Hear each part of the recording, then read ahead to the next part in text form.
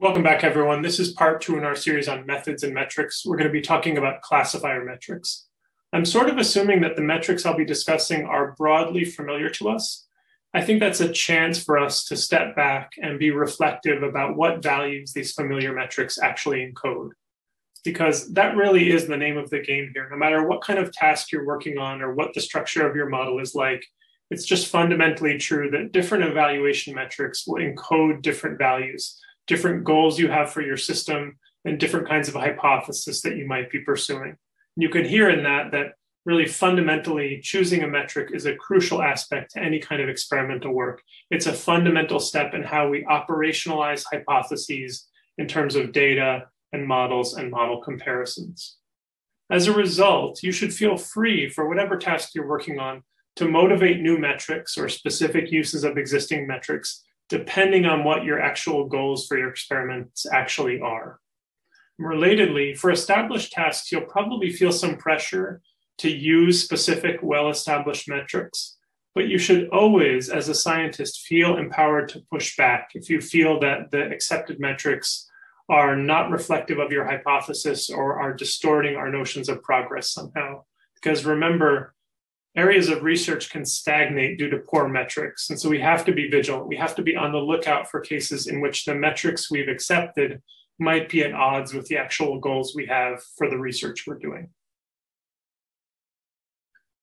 Let's begin our discussion of classifier metrics by talking about confusion matrices, a pretty fundamental data structure for a lot of the calculations that we'll perform. So by convention for my confusion matrices, I'll have the actual labels going across the rows here. And across the columns, I'll have the predictions from some classifier model. So you can see in this confusion matrix that there were 15 cases in which the model predicted positive and the actual label was positive. Where there, whereas there are 10 cases where the actual label was positive and the model predicted negative, and so forth for the other values in this table. I think that seems familiar. It's something we can take for granted, but we should remember that behind the scenes here, a threshold was imposed in order to create these categorical predictions. By and large, classifier models that we use today predict probability distributions over the labels. And so, in order to create an actual categorical prediction, we decided, for example, that the label with the maximum probability would be the true one. And that res- the result of that decision was used to aggregate this table. But of course, different choices of that threshold might give very different results. And there might be contexts in which we want to explore the full range of probabilistic predictions. That's something I'll return to at the end of the screencast.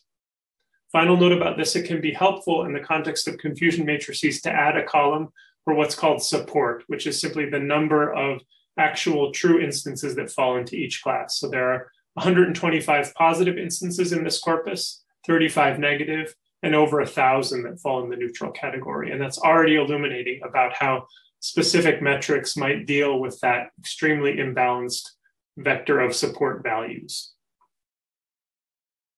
So let's start with accuracy, by far the most famous and familiar of all the classifier metrics. Accuracy is simply the number of correct predictions divided by the total number of examples. In terms of our confusion matrices, that is just the sum of all the values along the diagonal divided by the sum of all the values that are in this table. The bounds are zero and one, of course, with zero the worst and one the best. In terms of the value encoded by accuracy, I would say it's an attempt to answer the question, how often is the system correct? And that kind of feeds into the weaknesses here. So the weaknesses are first, there's no per class notion of accuracy, not directly. We just get a single holistic number. And relatedly, there is just a complete failure to control for class size. So you can see, for example, in this confusion matrix that performance on the neutral class will completely dominate the accuracy uh, values. And it's to the point in this table where no matter how much progress we make on the positive and negative classes, because they are so much smaller in terms of their support than neutral, that kind of progress is unlikely to be reflected in our accuracy values. And that's why if you return to the value encoded, you can see that just at a raw fundamental level, it is simply answering how often is the system correct. Another thing to keep in mind is that for many classifier models, the loss for those models is what's called the cross entropy loss. It's also called the negative log loss uh, in scikit-learn. And that value is inversely proportional to accuracy. The takeaway there is that even as we might choose other metrics to compare models and evaluate models, we should keep in mind that our classifiers themselves are kind of engines for trying to maximize accuracy. And so they are likely to inherit whatever properties and values and strengths and weaknesses are inherent in the accuracy calculation, which, as we'll see, could be at odds with our actual values for the system that we're developing. And that kind of feeds nicely into precision, recall, and F scores, which are attempts to make up for some of the weaknesses that you see in accuracy. We'll start with precision. This is a per class notion. For a class K, it's the correct predictions for K divided by the sum of all the guesses for K that were made by your model. So in terms of this confusion matrix, if we focus on the positive class here, the numerator is the number of correct predictions for that class divided by the sum of all the values that are in this column. And for the negative class, we would repeat that. The numerator would be 15 and we would sum over the column. And finally, for neutral, the numerator would be 1,000 and we would again sum over this column. And that leads to this vector of precision values that you see along the bottom here.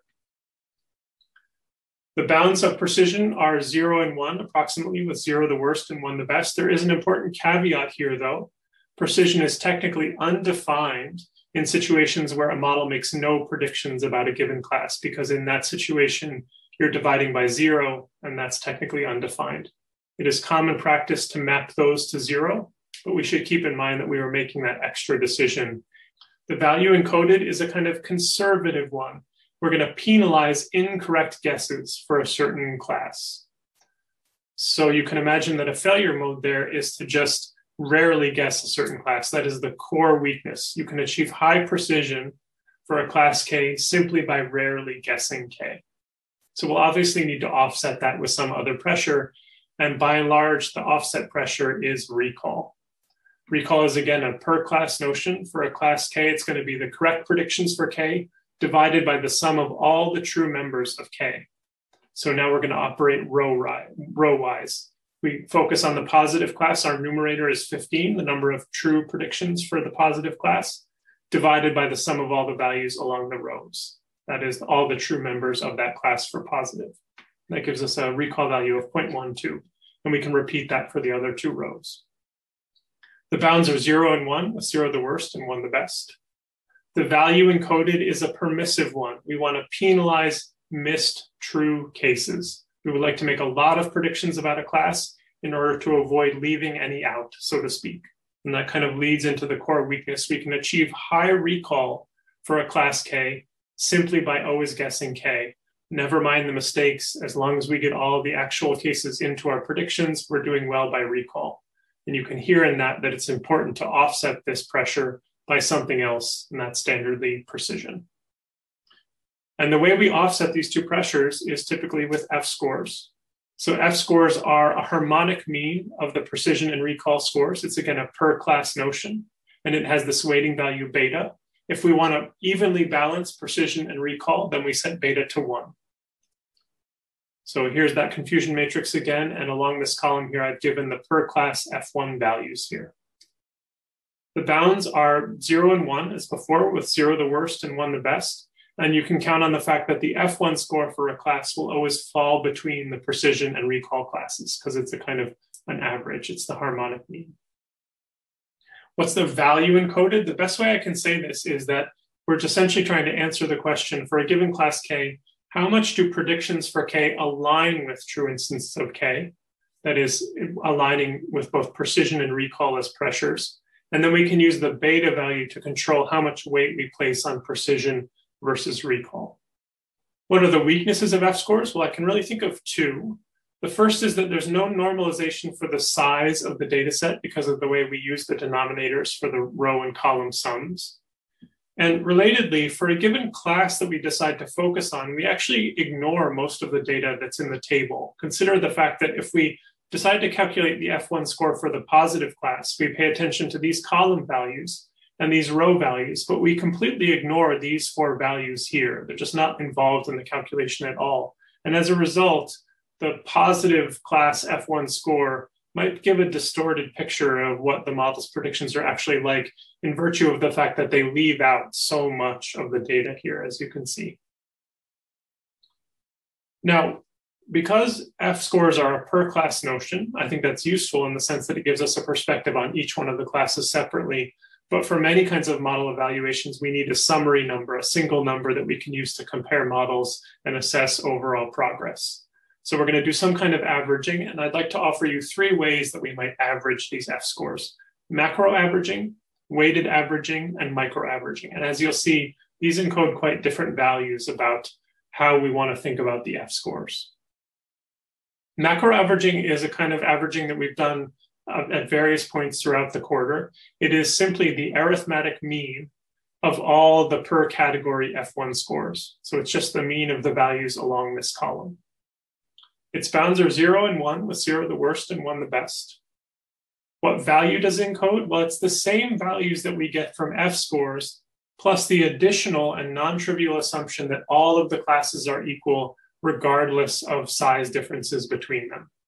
Right. And that kind of feeds into the weaknesses here. A classifier that does well only on the small classes might not actually do well in the real world. If you imagine counterfactually that for our given model here, we had really outstanding F1 scores for positive and negative and really low for neutral, that might really be at odds with how this classifier would behave in the world, assuming that most of the examples that are streaming in are in the neutral category. Relatedly, a classifier that does well only on large classes might do poorly on the small but nonetheless vital classes that are in our data. And that just reflects the fact that very often in NLP, it's the small classes that are the most precious, the ones that we care about the most. And we're not reflecting that kind of asymmetry on our values by simply taking the average of all these F scores. Weighted average F scores will give a very different perspective on model performance. In this case, we are again just going to take an average of the F1 scores, but now weighted by the amount of support for each one of the classes. That again has bounds zero to one, with zero the worst and one the best. The value encoded is the same as the values that we get for the F scores, but now with the added assumption that the size of the classes, the amount of support really does matter. And that's going to feed into the weaknesses. And the fundamental thing here is that large classes will dominate. Just as with accuracy, the larger our class is, the more it's going to contribute to our overall summary number. And that can lead to the kind of problematic uh, situation where the small classes are just not relevant for the evaluation metric. That could reflect your values because if what you really care about is raw rate of correct predictions, you might want to weight the larger classes more heavily. But again, for many contexts in NLP, we really care about how much progress we can make on the small but nonetheless important classes and so in those contexts, weighted averaging is probably not the right choice. The final averaging scheme that I'd like to consider is micro averaged F scores. This will be very similar to weighted averaging of F1 scores and is directly connected to accuracy.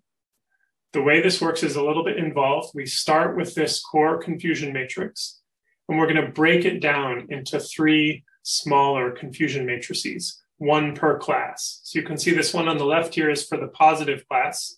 The yeses are 15, and the no's are the sum of these two values here along this row.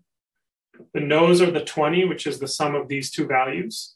And then this no-no category is all the remaining data in this quadrant here. We repeat that same procedure for the negative class and for the neutral class. And then we simply sum up those three smaller tables into one big yes, no confusion matrix and calculate the F1 scores per category. That gives us two scores here, one for yes and one for no. The bounds on this are zero and one, with zero the worst and one the best. The value encoded is really easy to state. Macro averaged F1 scores for the yes category are equivalent to accuracy scores numerically. So that's identical in terms of that metric.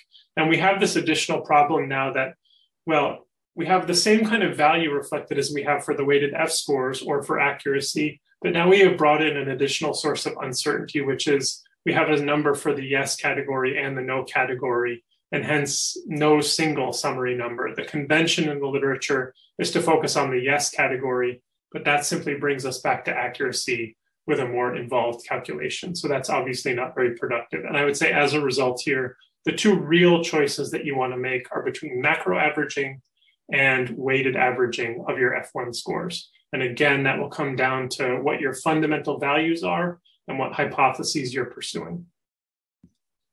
The final point I want to make is that thus far we have operated in terms of the confusion matrix, which involved imposing a threshold on probabilistic predictions in order to create categorical values that we could then compare with precision and recall and so forth. Precision and recall curves are, offer a fundamentally different perspective. In this case, instead of imposing one threshold, we'll take every possible value that's predicted by our classifier to be a potential threshold and essentially create a bunch of confusion matrices based on that successive series of thresholds. And then we can plot the trade off between precision here along the y axis and recall along the x axis for all those different notions of threshold. And that can be really illuminating in terms of helping us see how our system trades precision and recall against each other and help us find, based on values that we have about our problem and our goals, what the optimal balance between precision and recall actually is. And then if you do need a summary number of this entire table, average precision, which is implemented in scikit-learn, is a standard way of summarizing the entire curve with a single number without, though, imposing that single threshold that was so much shaping all of the previous metrics that we discussed.